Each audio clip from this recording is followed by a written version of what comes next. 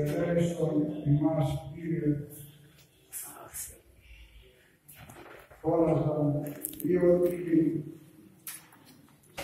Και παρακαλούσαν τον Κύριο να τους δώσει το φως, το οποίο είχαν χαμένο από τη γενιά της μάνας τους. Ελέησον ημάς, Κύριε Ιησού Χριστέ, Ιε Δαβίδ. Τι θέλετε ή να πείσω ημάς, ρωτάει ο Κύριος. Τι θέλετε να σας κάνω ή να αναβλέψουμε. Θέλουμε να δούμε. Ερώτημα του Κυρίου. Τι θέλετε να σας κάνω. Μήπως δεν έβλεπε τη σαν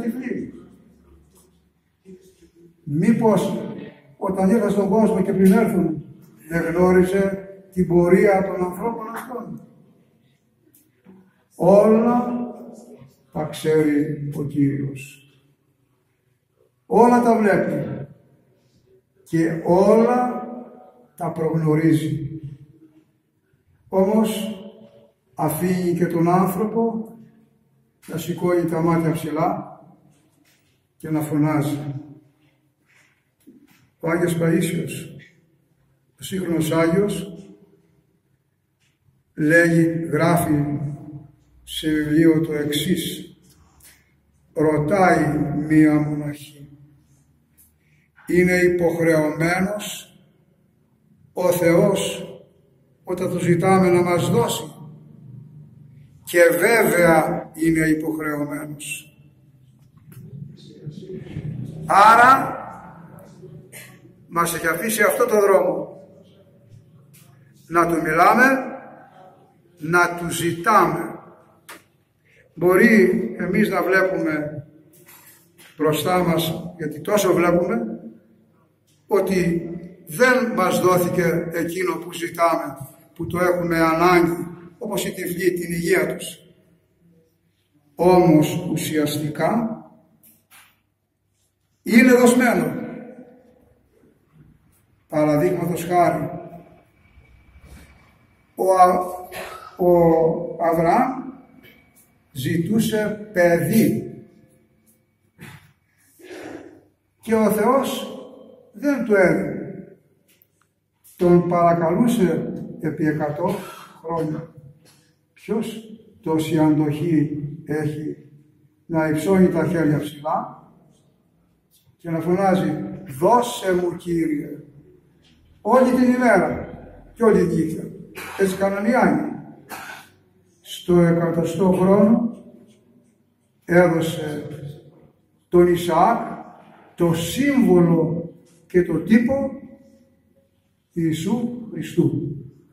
Και τον, βά, τον βάδιζε ο Αβραάμ το γιο του, το μονάκριβο να το θυσιάσει. Όπως ο πατέρας μας Θεός θυσίασε τον γιο του. Εκατό χρόνια ζητούσε. Γιατί τον άφηνε, για να μαθαίνει να ζητάει. Γιατί όπως το μικρό παιδί έρχεται και λέει δώσε μου μπαμπά αυτό, δώσε μου μαμά εκείνο και λέει μαμά παιδί μου δεν μπορούμε τώρα. Επιμένει το παιδί. Και ξανά το παιδί μέχρι που κλαίει το παιδί. Άντε παιδάκι μου πάρει. Ίδια σχέση υπάρχει. Ίδια.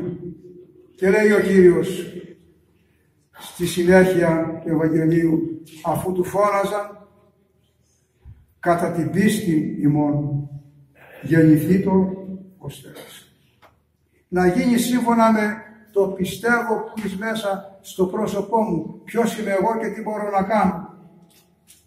Αν αυτό είναι καθαρό και δεν έχει ούτε μία αμφιβολία ότι μπορώ να το κάνω, το έχεις πάρει και θα το δεις και με τα μάτια σου.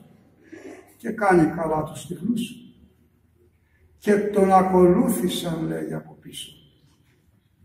Όχι μόνο πήραν την υγεία τους, αλλά έδωσαν και τον εαυτό τους η σχέση Θεού και ανθρώπου.